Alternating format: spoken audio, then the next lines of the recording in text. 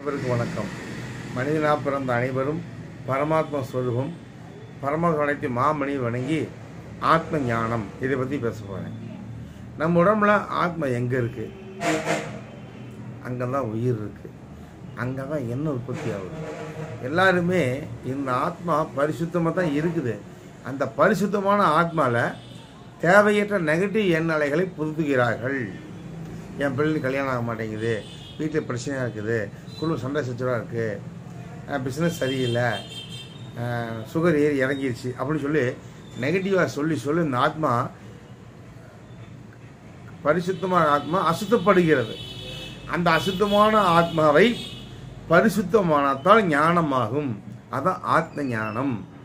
அந்த ஆத்மாவை ஞானம் அடைந்தால்தான் இந்த ஜீவாத்மா பரமாத்மா கலக்கும் அது ஆத்ம ஞானம் அப்படி ஆத்மாவை ஆத்மாவை உருவாக்கும் எண்ணங்களை பாசிட்டிவ் எண்ணங்களாக நாம் செய்து ஆத்மாவை ஞானப்படுத்தினால் மனிதனுடைய எண்ணம் நல்ல எண்ணமாக வரும். இந்த எண்ணம் பன்னெண்டு சுற்றி வரும்.